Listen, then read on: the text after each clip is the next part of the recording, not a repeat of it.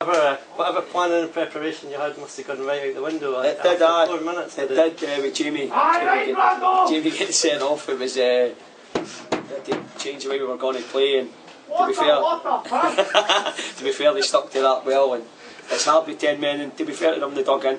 They dug in, and uh, it got even to sell up uh, eventually when Roddy went in the goalie. And I think that was maybe a red card in ours. To be honest, I don't think uh, ours was as clear cut as the referee made out.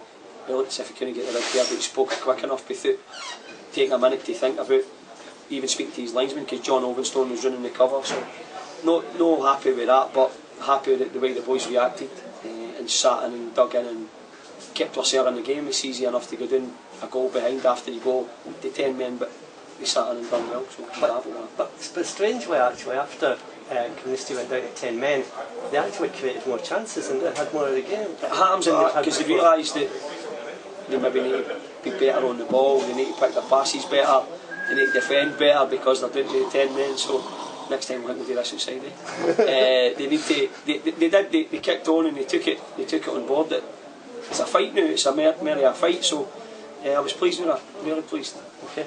And um, looking forward to next week. Broxburn had a good result today. They beat Bo'ness 3 0. So yeah, yeah. It's uh, always is a hard game going up there on the Astro. It's a different game.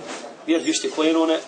Uh, they train on it and play on it every other week. So it'll be a hard game up there. We all know we got a hard game with them in the final, uh, the last uh, game of the season there. So it will be a, it'll be a good game. Obviously, the teams, two years have got three points, so it'll be a it'll be a good game as well for the, for the neutrals to come and watch and think. But we'll be going up uh, just to go the same, play and go and try and win the game as usual.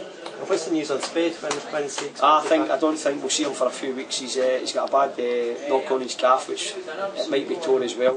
Uh, it was against Fauldhouse, so he thought it was getting better after a couple of days, but it's got worse. So he's going to have to just leave it and let it rest and uh, get the bruising out, so it can be well. Okay, thanks for that, Mark. Guys.